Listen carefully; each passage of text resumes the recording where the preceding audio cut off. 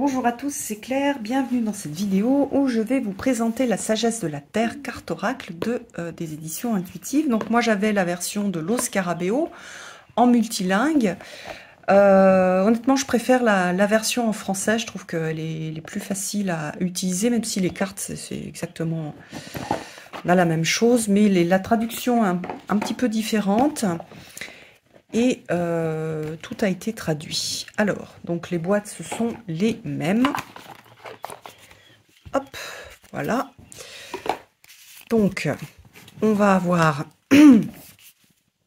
du coup là un plus petit guidebook, mais mieux présenté. Voilà, plus facile à utiliser. Et puis là, bah, comme il est multilingue, euh, c'est moins facile de trouver. Et puis, il a été retraduit.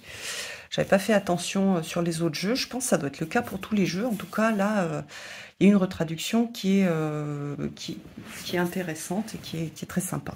Alors, même si j'aime bien, c'est vrai, sur ces oracles, avoir la, version originale. donc voilà, ça c'est l'avantage, mais je trouve quand même à l'utilisation, c'est plus facile d'utiliser le, livret en français qui est plus, plus joli, plus pratique. Alors, au niveau euh, des cartes, donc euh, pas de tranche. Je trouve que c'est pas mal pour ce jeu-là de ne pas avoir mis de tranche. Les cartes sont souples. Franchement, je j'en reviens un peu des cartes qui sont trop rigides parce que ça fait des paquets euh, ultra épais. Et aussi à mélanger, c'est plus compliqué. Et souvent aussi, les cartes glissent pas bien. Donc là, j'aime bien. Euh, c'est un jeu, donc euh, comme je vous l'ai dit que j'avais acheté, que j'aime beaucoup, euh, qui, fait, qui fait Celt. donc voilà, je vous montre, on a, a, quelque chose qui est, qui est vraiment identique. Elles sont un petit peu plus claires, en fait, elles ressortent mieux dans le, dans le jeu en français. Je ne sais pas si je vais toutes vous les montrer parce qu'en fait, vous voyez, c'est vraiment très proche. Euh, les traductions ont été, euh, ont été très, bien, euh, très bien réalisées. Donc, donc voilà, je vais, je vais enlever celui-ci pour concentrer sur, sur ces cartes-là. C'est un, jeu qui est, je trouve, tout en délicatesse, qui est très axé sur la nature, qui a des, des mots-clés intéressants. Euh, je vous montrerai après le, guidebook parce qu'il est aussi euh, intéressant. Alors il y a des choses qui sont moins, euh, qui font moins celte au niveau des, par exemple nettoyer son aura. Je sais pas trop, ça, fait pas très celte. Voilà, la connexion au divin, s'accepter, l'acceptation de soi. Les, illustrations sont vraiment de toute, toute beauté. Elles sont très très belles. Euh, j'aime énormément euh, ce qu'a fait, euh, comment est-ce qu'elle s'appelle? Christina Scagliotti. Je vais regarder si elle a fait d'autres jeux parce que je trouve vraiment très très joli. Donc à chaque fois, pardon, on va avoir un lien avec une plante et qu'on va retrouver dans, le guide. Hein, vous voyez par exemple ici le, le genévrier, genévrier pardon, avec l'œil de tigre. Donc on a une plante et une pierre que l'on va retrouver sur, euh, la carte. Celle-ci, c'est un mauvais exemple parce qu'on ne la retrouve pas facilement. Et vous voyez, par exemple, ici, euh, on, a, euh, on a la pierre qui est représentée et on a les, plantes autour. Donc, c'est, je trouve qu'il y a une sorte de, magie naturelle qui se dégage de ce jeu, de magie verte et, par la, douceur des, illustrations et ce côté de lien aux, plantes et aux pierres et euh, aux traditions celtes, je lui trouve vraiment, quelque chose euh, d'incroyable. J'adore celle-ci, la vérité avec cette idée de, musique. Euh, donc vous voyez, les, pierres sont les, petites, les petites pierres que l'on voit au-dessus des fleurs de, ça doit être de la digitale. C'est superbe, superbe. Vraiment, il est beau, il y a des, il des harpes. Euh, on a l'impression de se balader en Irlande. Euh, avec l'Irlande fantasmée aussi, hein, il y a un côté fantasmé. Mais oui, il y a ce côté de lien avec la nature, avec le monde naturel, avec la musique aussi, que j'aime que j'aime énormément. J'adore celle-ci, l'intuition. En plus, on a voilà, un personnage un peu plus âgé. Ah, donc, donc voilà, j'aime beaucoup, beaucoup ce jeu. il a 32 cartes c'est vrai que euh, finalement, je, voilà, j'aime bien aussi euh, avoir un jeu avec peu de cartes. Ça change en fait. Ça change et ça permet de, bien connaître euh, quand on utilise le jeu. On met moins de temps pour bien connaître le jeu. Et donc, en fait, ce qui est important, c'est la structure, comment les mots-clés ont été choisis, est-ce qu'ils couvrent suffisamment de, thèmes par rapport à, euh, ce que je vais vouloir faire avec ce jeu-là. Donc, euh, donc voilà, sur celui-ci, euh, le, fait qu'il n'y ait que 32 cartes, ça m'a pas gêné. Sachant que c'est n'est pas une nouveauté en fait, hein, ces, oracles d'une trentaine de cartes, il y en a même avec juste 24 cartes. On retrouve, ça chez Los Scarabeo depuis très longtemps. Et il y, a, pas mal de jeux que moi j'aime beaucoup avec euh, ce, peu de cartes. Alors, donc on a une, pardon, une introduction. Euh, comment utiliser les cartes. Voilà. Euh, on peut voilà aussi travailler avec les énergies représentées sur les cartes. C'est vrai qu'on peut aussi choisir une carte sur ce jeu-là, par exemple, si on a besoin d'une certaine énergie, on peut regarder les cartes, choisir la carte dont on a besoin et la mettre sur son hôtel ou sa table de nuit ou où on a envie. Ou je sais qu'il y a des gens qui prennent une carte dans leur agenda euh, euh, pour être accompagnés pour la journée. Donc il y a les symboles celtiques. Donc là, vous voyez euh, la wen, le triskel, la harpe. Donc ça, j'aime bien, parce qu'il y a une explication de, des symboles. et puis l'interprétation des cartes. Alors à chaque fois, par exemple, cette carte-là, c'est une carte sur les limites. On a le nom de la plante, un des noms de la plante, parce que justement, parmi dans les traductions, les différences de traduction, il y a des traductions qui ont été faites différemment, et sachant qu'il y, a, des plantes qui ont des noms différents. Donc c'est une plante qui aide à poser et maintenir des limites saines. Elle renforce l'aura et la conscience de soi, tout en soignant les blessures énergétiques. Donc vous voyez, pourquoi est-ce que cette plante a été représentée sur la carte Voilà, et l'ambre, c'est aussi euh, la pierre qui va renforcer les limites.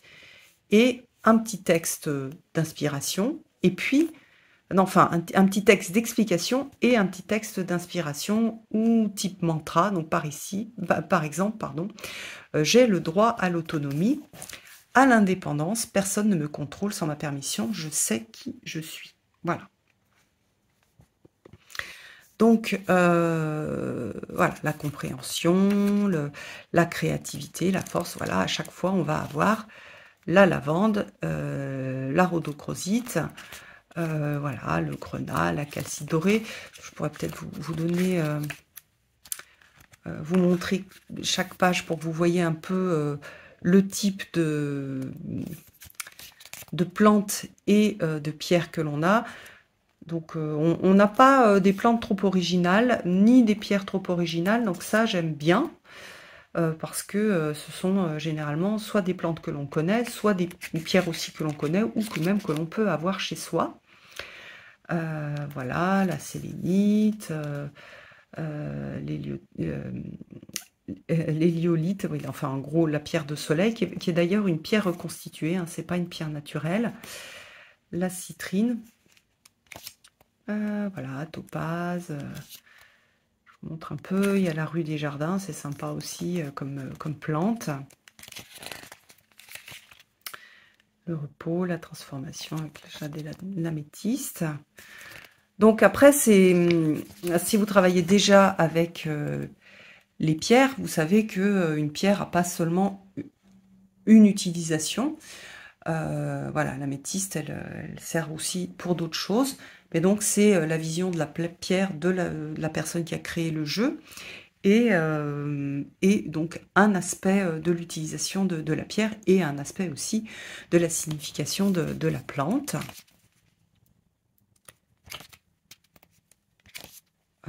donc voilà, je vais un petit peu vite quand même pour pas... Voilà, la conite, j'ai trouvé ça intéressant. Guéris-toi toi-même. Le pérido, d'ailleurs, je vous ai dit une bêtise. La harpe, c'était... Ah si, c'est une digitale. Et là, qu'est-ce qu'on a? Ah non, c'est la conite, d'accord. Si, donc la digitale avec l'amazonite. Le pissenlit, j'aime bien qu'il y ait des plantes toutes simples. Le pertuis. La lavande. Donc il y a surtout des plantes sauvages. Hop. La prospérité. Voilà. Donc c'est Barbara Amour qui écrit le, texte. Euh, que voilà que j'aime beaucoup donc c'est euh, voilà un je trouve que c'est vraiment un beau jeu faire un petit tirage rapide choisissez première deuxième ou troisième carte alors toc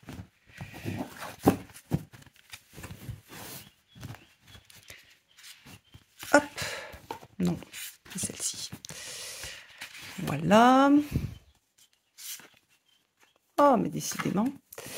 Et troisième carte. Alors, je voulais choisir un, deux ou trois. Donc, un thème ou juste euh, une, euh, inspiration pour, euh, pour la journée ou une réponse à une question.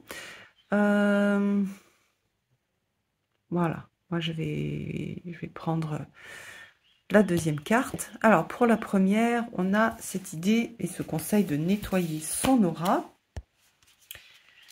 Alors, on va regarder... Euh,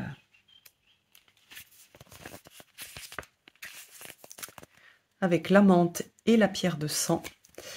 Alors, je prends soin de mon esprit et de mon corps. Je les nettoie tous les jours des influences indésirables. Je me purifie dans l'amour spirituel, la lumière et la compréhension. Voilà, on a cette idée d'hygiène euh, physique et spirituelle.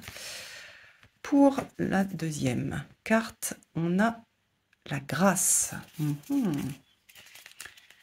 Alors, qu'est-ce qu'on a dans la grâce? Avec la rue des Jardins et la Kunzit euh, pour accompagner donc l'acceptation de soi, l'harmonie entre le physique et le spirituel, donc je suis un enfant du divin, je m'honore et m'estime, je sais que je mérite l'amour et la grâce qui viennent du divin ou des autres, moi y compris. Donc voilà, plutôt une carte d'amour et d'acceptation de, soi. Et euh, j'aime beaucoup cette phrase, hein, nous sommes nos pires juges. Donc euh, voilà, un peu de douceur vis-à-vis de, de, de soi. Et puis pour la troisième carte, on a la créativité. Alors, toc on a euh, la molle. Euh, donc là, on a cette idée de créativité, de fertilité, de guérison féminine. Euh, je suis un être créatif et je nourris activement mon moi créatif par les arts et avec la nature. J'exprime mon être créatif avec compassion et confiance. Voilà, faire preuve de créativité. dans sa vie, sachant que la créativité, c'est pas forcément être un artiste reconnu, euh, il y a plein de façons d'être créatif. Donc euh, voilà, avec euh, la pierre, qu'est-ce que c'était la pierre associée? La cornaline, ah bah oui.